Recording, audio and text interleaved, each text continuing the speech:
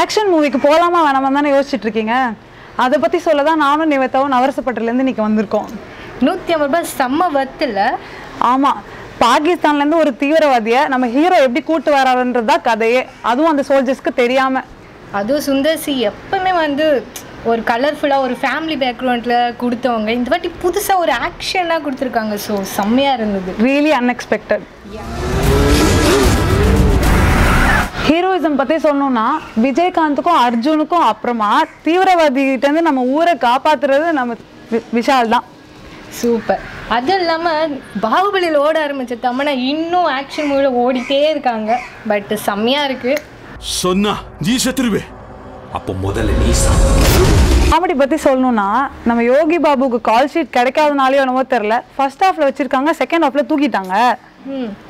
நம்ம ஷாரா கொஞ்சம் காமெடி பண்ணியிருக்கலாம் ஐ ஆம் ஏ ப்ரொஃபஷனல் ஹேக்கர் நம்ப முடியலையே. ஏன் என்னை பார்த்து ஹேக்கர் மாதிரி தெரியலையா? படத்தில் நிறைய மிஸ் ஆயிருந்துச்சே பாத்தியா? நீ நோட்டீஸ் பண்ணியா? ஆ நான் எதை திரும்ப நோட்டீஸ் பண்ணேன்? காலகாலமாக படத்துலையும் பார்க்குறோம் நம்ம நேரில் கிண்டலும் பண்ணுறோம் ஒரு பார்டரில் குனிஞ்சு இப்படி நிமிந்தா பாகிஸ்தான் வந்துருதான்.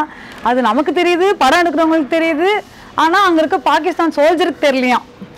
இதெல்லாம் அக்செப்ட் பண்ணுற மாதிரியா இருக்குது ஆனால் எடிட்டிங்கில் பார்த்தீங்கன்னா ஃபஸ்ட்டு ஏதோ ஜீப் வந்து பிளேனுக்கு முன்னாடி போதும் அகெயின் வந்து பிளேனுக்கு பின்னாடி ஜீப் தான் ஸோ லாஜிக்கே ரொம்ப இடிக்குது இல்லை பட் எடிட்டிங்கில் கொஞ்சம் கான்சன்ட்ரேட் பண்ணியிருக்கலாம் ஒரு சீன் நோட்டீஸ் பண்ணியா?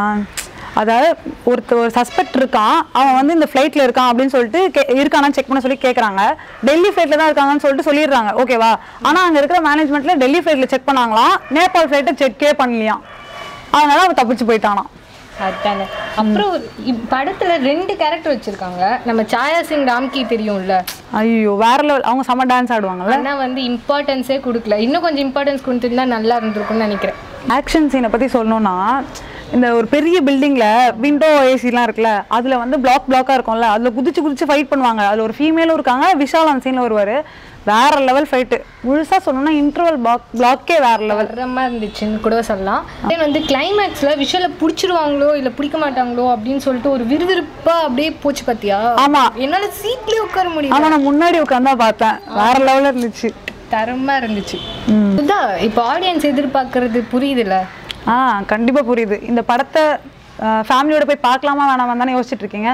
கண்டிப்பாக பார்க்கலாம். படத்தோட ஃபர்ஸ்ட்லேருந்து லாஸ்ட் வரைக்கும் என்ன நடக்கும்ன்ற ஹைப் இருந்துகிட்டே தான் இருக்கும். இந்த லாஜிக்கு அதெல்லாம் யோசிக்காம பார்த்தீங்கன்னா கண்டிப்பாக ஃபுல் படமும் என்டர்டெய்னிங்காக இருக்கும். அதான் நீங்கள் ஒரு என்டர்டைனராக இருந்தால் இந்த மூவி வந்து ஒரு பக்க ஆக்ஷன் ஃபிலிம் தான். ஸோ கண்டிப்பாக மிஸ் பண்ணாமல் போய் பாருங்கள் ஓகே இப்போது இந்த வீடியோ உங்களுக்கு பிடிச்சிருந்துச்சுன்னா ஷேர் பண்ணுங்கள் லைக் பண்ணுங்கள் அப்புறம் அந்த நவரச பற்றி எங்கள் சேனலை சப்ஸ்கிரைப் பண்ணாதவங்க கண்டிப்பாக சப்ஸ்கிரைப் பண்ணிவிடுங்க until then this is bye from Sudha Nivetha பண்ணுங்க bye.